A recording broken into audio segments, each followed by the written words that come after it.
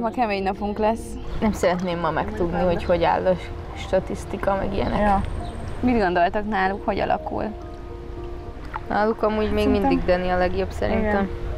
És a csajok? Én annyira vakon vagyok is statisztika szempontjából, hogy én, Én csak is így egyébként. érzésre tudom, Fogalmam hogy nincs. mostanában ki miért megy, meg összességében így me- a heteknek milyen, szóval a mostani hetek teljesítménye milyen hatással lehet az össz statisztikára, de hogy annyira nehéz ennyi így a végén már. Az elmúlt időszak nagyon hektikus volt abból a szempontból, hogy volt, amikor nagyon sokat nyertünk, volt, amikor a bajnokok fordítottak, és ők nyertek nagyon sokat, de én ebből nem vonnék le nagy következtetéseket, hiszen már annyira a verseny végén járunk, hogy annyira nagy különbségek nincsenek, én azt érzem, és egy kockán, egy totemen, egy homokzsákon, egy labdán múlnak legtöbbször az ügyességi feladatok, és azok a bizonyos pontok.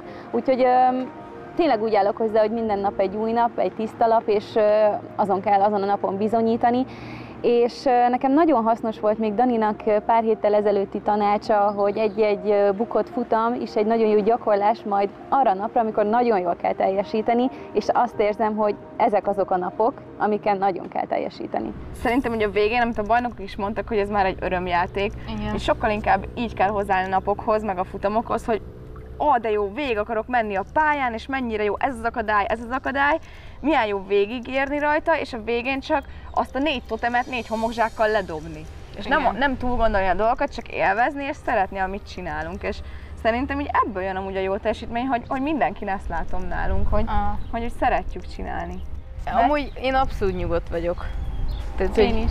Én így a csapatot illetően én teljesen nyugodt vagyok, és azt érzem, hogy úgy lesz, ahogy hogy lennie kell, és nekünk ez jó lesz szerintem. Én ezt érzem. Szerintem Gréti se, meg Bogi se izgul rá túlságosan erre a végjátékra. Mindenki tisztában van vele, hogy most ezt meg kell csinálni, hogy ez van, de, de szerintem azért is vagyunk nyugodtak egyébként, mert érezzük a csapatban, hogy, hogy ezt meg tudjuk ma csinálni, és, és nem, nem tartunk tőle, hogy kikapunk esetleg.